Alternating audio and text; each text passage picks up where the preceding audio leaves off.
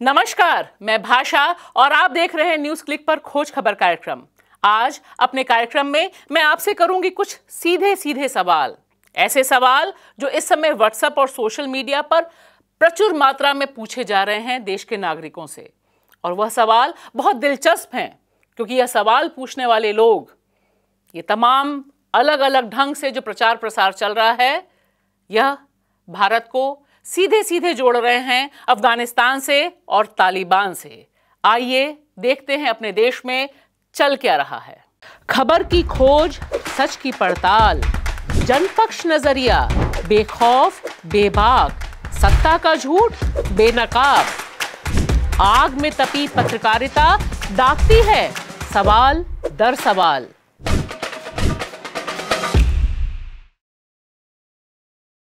कुछ बहुत सीधे सीधे से सवाल।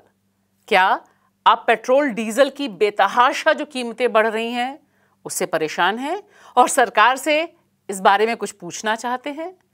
क्या आप मोदी सरकार से यह पूछना चाहते हैं कि जब दुनिया में और ख़ास तौर से भारत जो ले रहा है कच्चा तेल, उसमें 36 फ़ीसदी, छत्तीस फ़ीसदी कच्चा तेल सस्ता हुआ है, तब आखिर भारत में 43 फ़ीसदी, तैतालीस फ़ीसदी पेट्रोल डीजल क्यों महँगा हुआ है?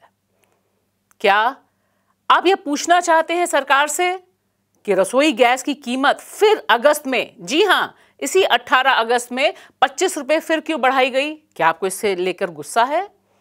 पिछले महीने, जुलाई में पच्चीस रुपए और बढ़ी थी। और आपको याद ही होगा कि इस साल जनवरी से लेकर अब तक एक सिलेंडर पर, रसोई गैस सिलेंडर पर एक सौ बढ़ाए जा चुके हैं। क्या आप यह सारे सवाल इस सरकार से पूछना चाहते हैं? अगर हाँ तो हो सकता है कि आपको जवाब मिले जिस तरह से भारतीय जनता पार्टी के नेता ने और तमाम भक्तगणों ने सीधे सीधे जवाब दिया कि अगर पेट्रोल, डीजल से बहुत परेशानी है तो अफ़गानिस्तान का टिकट कटाओ। अगर तुम्हें इस देश में जिस तरह से नफरत फैलाई जा रही है, जिस तरह से असहिष्णुता बढ़ रही है इंटॉलरेंस बढ़ रहा है, अगर आप उस पर सवाल उठाना चाहते हैं, तब आप अफ़गानिस्तान चले जाइए। यह सब मैं अपने मन से नहीं कह रही। यह सब इस देश में हो रहा है। अब देखिए, बहुत दिलचस्प दृश्य दिखाई दे रहा है उत्तर प्रदेश में। जी हाँ उत्तर प्रदेश पे इस समय सबकी निगाहें हैं क्योंकि वहाँ 2022 में चुनाव होना है। और ऐसा लग रहा है कि उनके लिए जो पूरा का पूरा प्रकरण चल रहा है अफ़गानिस्तान में, जिस तरह से अफ़गानिस्तान में जब अमेरिका की सेना बाहर गई, उसका समर्थन बाहर गया, ताश के पत्तों की तरह पूरी की पूरी अफगान सरकार और पूरी सत्ता गिर गई, तालिबान का वहाँ दबदबा हो गया, वर्चस्व हो गया। उसके बाद से भारत में जो लड़ाई चल रही है, भारत में जो बहस चल रही है या चलाए जाने की कोशिश हो रही है, उससे ऐसा लग रहा है कि भारत ही में तालिबान का भविष्य या अफ़गानिस्तान का भविष्य तय किया जाएगा। जिस तरह से 2022 के चुनाव के लिए योगी खुद, जो वहाँ के मुख्यमंत्री हैं, योगी आदित्यनाथ, वह या उनकी पूरी की पूरी टीम हिंदू मुसलमान करने, तालिबान को भारतीय मुसलमान का बरक्स बनाने या उससे उसको कनेक्ट करने की कोशिश, उस बहाने पूरा का पूरा हिंदू मुस्लिम डिवाइड करने की कोशिश हो रही है, वह बहुत खतरनाक है। अब आप देखिए, उत्तर प्रदेश के जो भाजपा के प्रमुख हैं, स्वतंत्र देव, उन्होंने बकायदा धमकाते हुए कहा, आपको पता नहीं है, उत्तर देश का प्रधानमंत्री कौन है, देश का मुख्यमंत्री कौन है? आपको टेररिस्ट का पक्ष लेते हुए इस बात का ध्यान रखना चाहिए। सिर्फ़ मामला यहाँ नहीं रुका। हमने यह भी देखा कि किस तरह से योगी आदित्यनाथ ने बकायदा लखनऊ में विधानसभा में सीधे सीधे यही बात रखी और उन्होंने कहा कि इन तमाम नेताओं का जो पक्ष ले रहे हैं तालिबान का, उनका पर्दाफाश होना चाहिए। यहाँ हम आपको बता दें कि समाजवादी पार्टी के संबल से जो सांसद हैं, शफीकुर रहमान बरख, उनके ऊपर सिडिशन का चार्ज लगाया गया है, मामला दर्ज किया गया है। और वह खुद अपनी तरफ़ से कह रहे हैं कि उनका जो पूरा बयान है वो तोड़ मड़ोड़ के दिखाया गया। लेकिन चुन चुन के जिस तरह से मुसलमानों के पास हमारे प्रिय टीवी चैनल पहुँच रहे हैं, उनको बहस में उतार रहे हैं, उनसे सीधे सीधे पूछ रहे हैं, उससे उनका इरादा बहुत साफ़ लग रहा है। इरादा बहुत साफ़ है कि देश के प्रधानमंत्री नरेंद्र मोदी, देश के गृह मंत्री अमित शाह, विदेश मंत्री, इन सबसे तो यह टीवी चैनल नहीं पूछ रहे कि आखिर आपका तालिबान पर क्या स्टैंड है। अफ़गानिस्तान में जो हो रहा है, इस पर भारत ने क्या कूटनीतिक रास्ता अपनाया है? जो खबरें पहुँच रही हैं, जो खबरें हमारे सामने हैं, उससे यह ज़ाहिर है कि भारत सरकार एक डिप्लोमेटिक रास्ता वार्ता तालिबान के जो पूरा का पूरा नया नेतृत्व आया है, उससे कर रही है। जिस तरह से वहाँ से भारत के लोग वापस आए अफ़गानिस्तान से, उससे भी बहुत साफ़ है। लेकिन आप देखिए, अगर टीवी चैनल आप देखते हैं, अगर आप अखबार पढ़ते हैं, कहीं पर भी कोई सवाल देश में जो सरकार चला रहे हैं, उनसे नहीं पूछा, पूछ रहे हैं। वह सीधे सीधे एक या दो मुसलमानों को अपने पास रखकर, कुछ नेताओं को सामने रखकर, उनसे तालिबान के बारे में पूछ रहे हैं। मानो, भारत का बतौर देश क्या स्टैंड होगा? ये ये मुसलमान तय करेंगे। As a individual Indian citizen तय करेंगे कि हमें तालिबान से क्या रिश्ता रखना चाहिए। तालिबान के पक्ष में खड़ा होना चाहिए। तालिबान के विरोध में खड़ा होना चाहिए। और यह भी तब हो रहा है जब हम देख रहे हैं सोशल मीडिया सहित तमाम जगहों पे बहुत बड़ी संख्या में लोग इस बात को दोहरा रहे हैं कि तालिबान का जो खौफनाक शासन था, उसे कोई भूला नहीं है। उसे याद रखना बहुत ज़रूरी है। ये कहने वाले लोगों की जो जमात है, लोगों की जो संख्या है, वो बहुत अच्छी खासी है। लेकिन हमारे प्रिय टीवी चैनल वरिष्ठ पत्रकार, सुबह से शाम तक बहस करने वाले लोग, पूरा का पूरा परिदृश्य बदलकर देश की जनता के सामने ऐसे रख रहे हैं, जैसे भारतीय मुसलमान को भारतीय होने की पहली कैटेगरी, पहला जो एग्ज़ाम है, वह पास उनके टीवी चैनल में करना होगा और उन्होंने बताना होगा कि वे तालिबान से कितनी नफरत करते हैं। तालिबान के इर्द गिर्द अफ़गानिस्तान के इर्द गिर्द जिस तरह की नफरत फैलाई जा रही है, जिस तरह से चुन चुन के लोगों को निशाने पे लिया जा रहा है, इसमें एक नाम स्वरा भास्कर का भी है। अब आप देखिए कि स्वरा भास्कर का कोई रिश्ता दूर दूर तक तालिबान से नहीं है, अफ़गानिस्तान से नहीं है। लेकिन जो भक्त गणों की टीम है, जो ट्रोल टीम है, वह कोशिश कर रही है कि स्वरा भास्कर को चारों तरफ़ से घेर कर एक हिंदू तालिबान किस तरह से भारत में काम कर सकता है, इसकी एक मिसाल पेश करने की कोशिश वह पूरी तरह से कर रहे हैं। मुझे लगता है, आज की तारीख में तालिबानी संस्कृति, तालिबानी विचारधारा, चाहे वह इस्लाम की हो या हिंदू धर्म की, किसी भी तरह का तालिबान हमें गवारा नहीं। यह कहना आज किसी भी समय की तुलना में बेहद ज़रूरी है।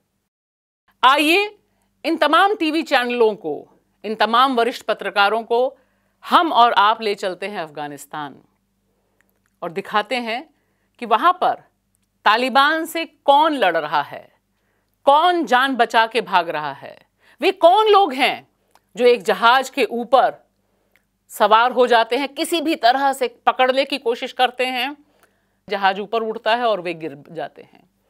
ये वे कौन लोग हैं? क्या ये लोग अफ़गानिस्तान के नहीं हैं?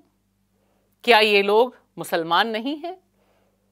यहाँ पर इस बात को दर्ज कराना बहुत ज़रूरी है कि अफ़गानिस्तान के भीतर जो लोग तालिबान का विरोध कर रहे हैं, तालिबान के निशाने पर आ रहे हैं, तालिबान की गोलियों से मारे जा रहे हैं, वे सब उसी धर्म के हैं जिस धर्म का तालिबान है। लिहाजा तालिबान को सामने रख के जो धर्म के आधार पर नफरत फैलाई जा रही है, वह सौ फ़ीसदी गलत है। शायद यही वजह है कि तालिबान एक ऐसा पर्याय बना इतने सालों में कि हम भारत सहित बाकी जगहों पर भी जब भी कोई धर्म कट्टर बनता है, जब भी कोई धर्म औरतों के खिलाफ खड़ा होता है जब भी कोई धर्म ह्यूमन राइट के खिलाफ खड़ा होता है तो हम कहते हैं कि इसके अंदर तालिबानी प्रवृत्ति है। भारत में भी इस शब्द का हम ऐसे ही इस्तेमाल करते रहे। और आप देखिए, आपको इस समय स्क्रीन पे दिखाई दे रहा होगा, तालिबान ने जब फतह किया काबुल, उस समय जो सबसे पहला विरोध हुआ, वह विरोध किसने किया? वह विरोध वहाँ की औरतों ने किया। वे औरतें बंदूक का सामना करते हुए पूरी हिम्मत और दिलेरी के साथ खड़ी थी पोस्टर लेकर। अपनी भाषा में वह नारे लगा रही थी तालिबान के अत्याचार के खिलाफ।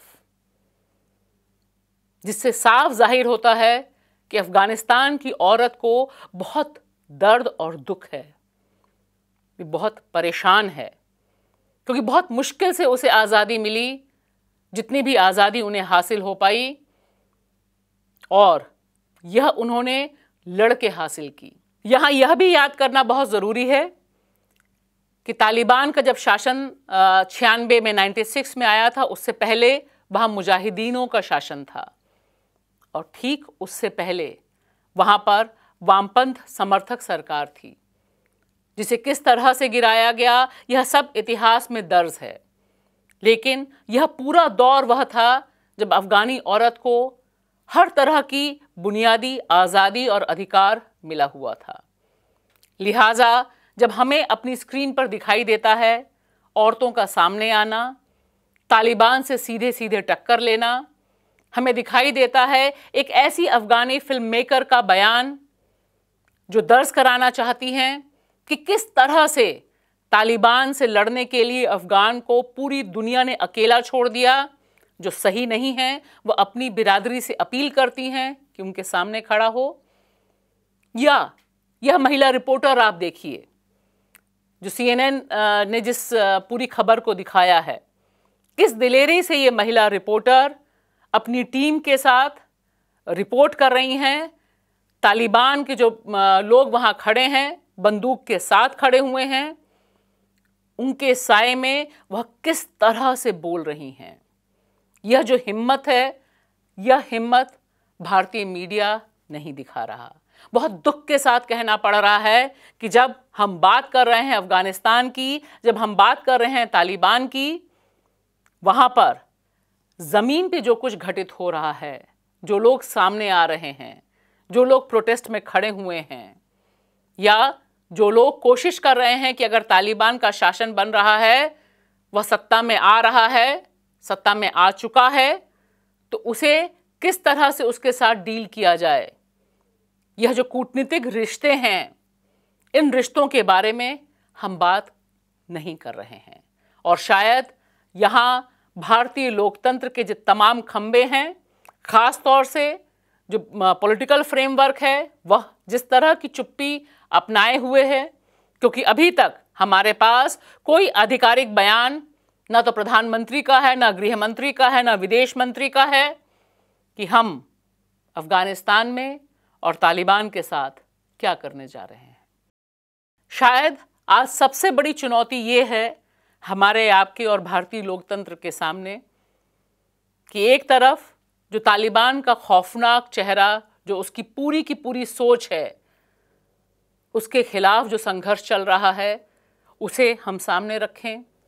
उसको इर्द गिर्द बनाकर जो लोग आवाज़ें उठा रहे हैं, उन्हें देश दुनिया के सामने रखें, उसके साथ साझा करें। और साथ ही साथ अफ़गानिस्तान में, अफ़गानिस्तान की बर्बादी के लिए किस तरह से अमेरिका ज़िम्मेदार रहा है? किस तरह से अमेरिका ने 20 साल जो वॉर ऑन टेरर के नाम पर वहाँ पर आतंक का साया बर्पा किया था?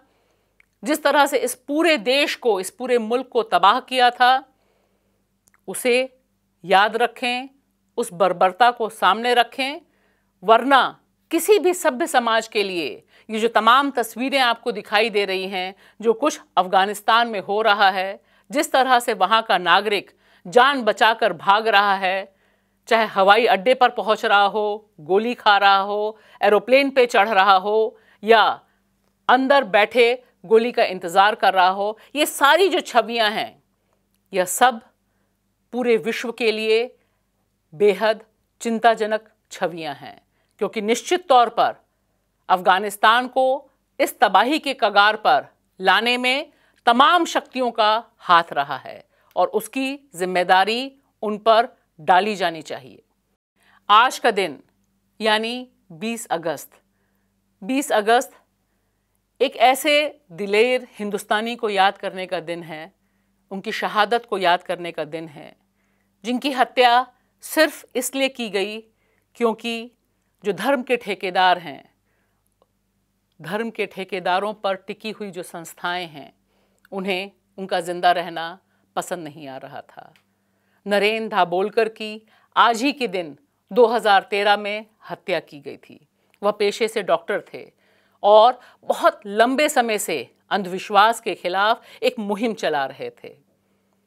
जिस तरह से उन्होंने अंधविश्वास को तार तार किया, उसका पर्दाफाश किया, तमाम बड़े लोगों से भी सीधे सीधे टकराए, शायद यह बात उन तमाम लोगों को पसंद नहीं आई जो लोग धर्म की राजनीति और धर्म की ठेकेदारी करते हैं।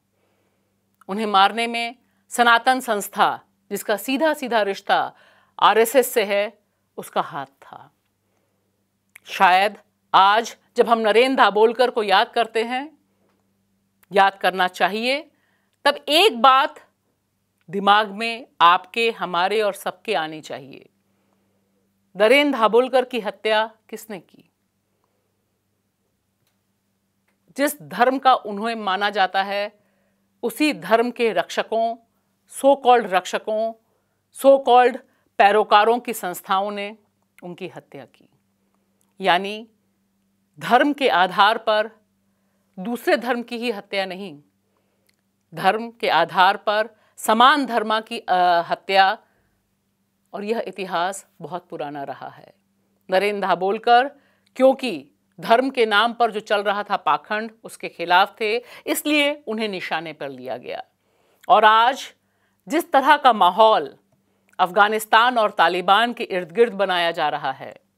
जिस तरह से तालिबान को बिना किसी लिंक के भारतीय मुसलमान से जोड़कर उसे बैकफुट में डालने की या उस आधार पर हिंदू मुसलमान करके आगे की राजनीति करने की योजना बन रही है, साजिशें हो रही हैं, इनका पर्दाफाश करना बेहद ज़रूरी है।